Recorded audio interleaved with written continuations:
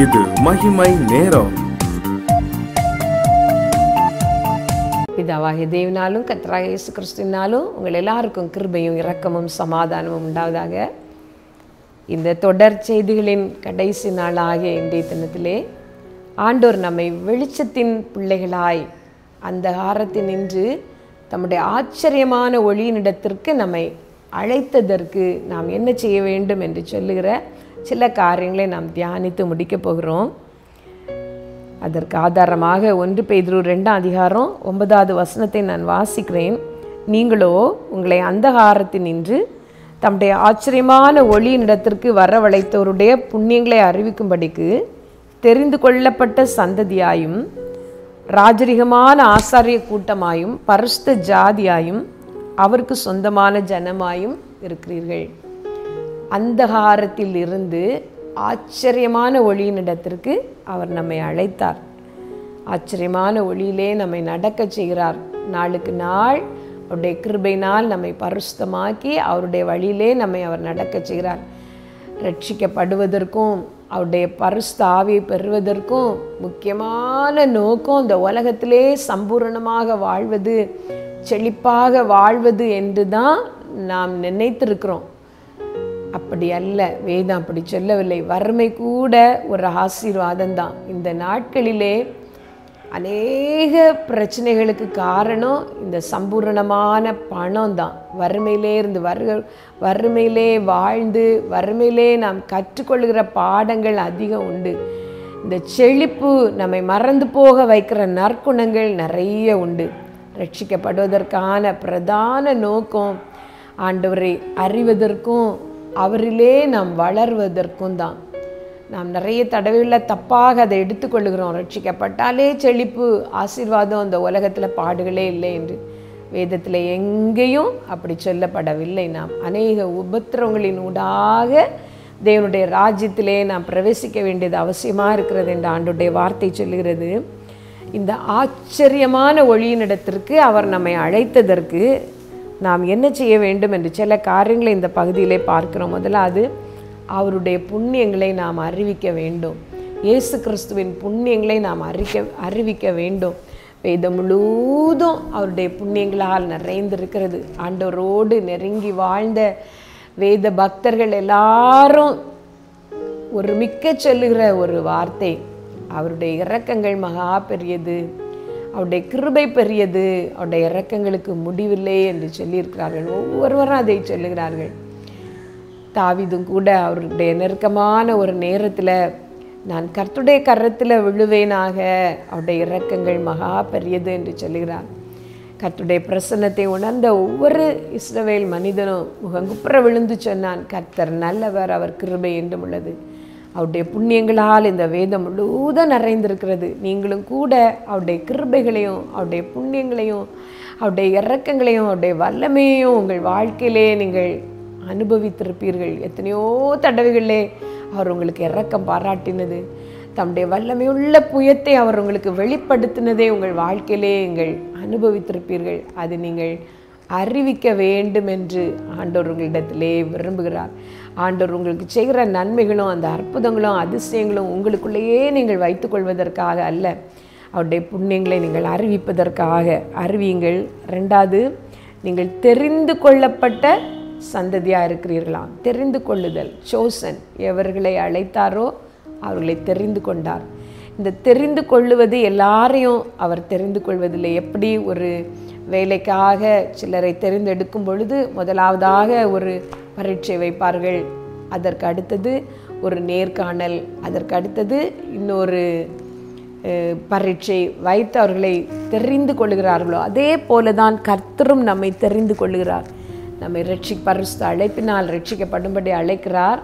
நாம் நடக்கிற நடங்களை நடைகளை நம்முடைய வாழ்க்கை பார்த்து அதில் சிலரை தெரிந்து கொள்கிறார். ரட்சிக்கப்பட்ட எல்லாருமே தெரிந்து கொண்ட கொள்ளப்பட்டவர்கள் என்று வேதம் சொல்லவில்லை. சங்கீதத்திலே ஒரு இடத்துல நாம் வாசிக்கிறோம்.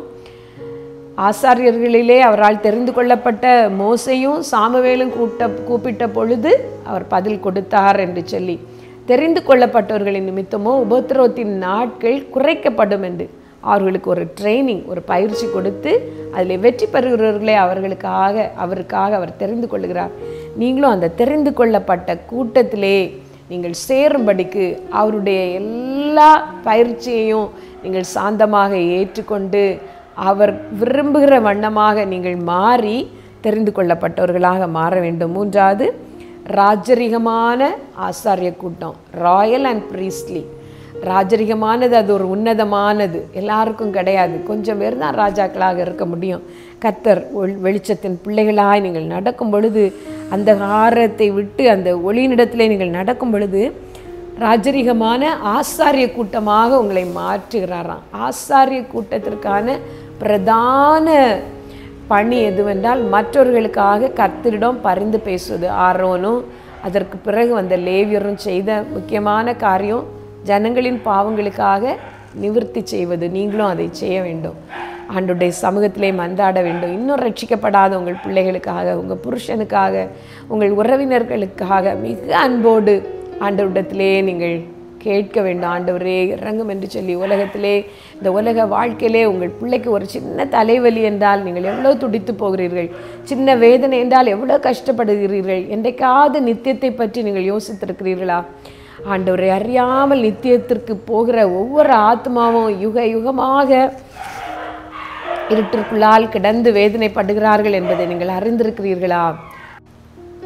சரி மூன்றாவதாக ராஜரிகமான ஆசாரிய கூட்டமாக கர்த்தர் உங்களை வைத்திருக்கிறாராம்.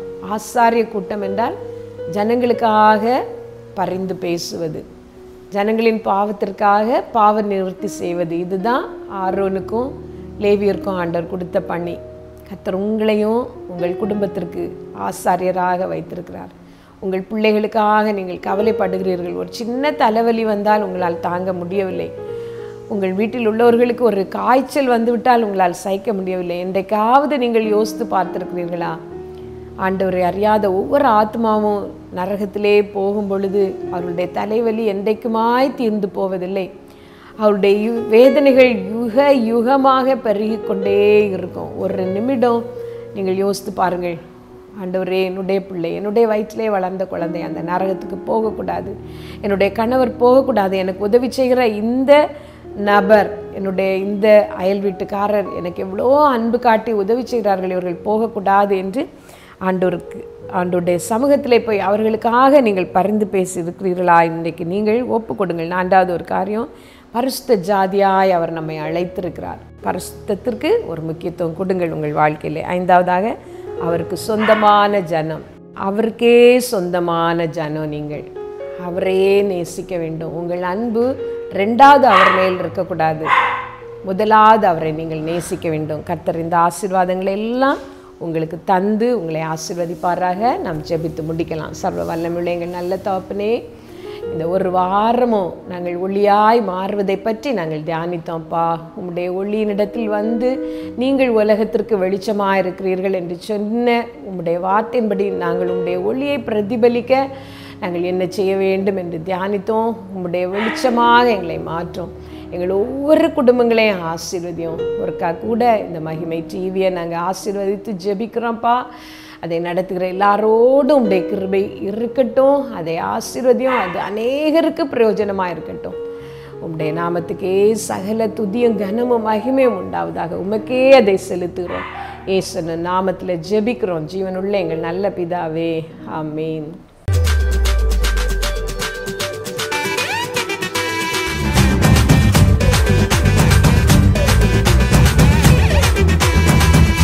மகிமை Bagi mai, bagi mai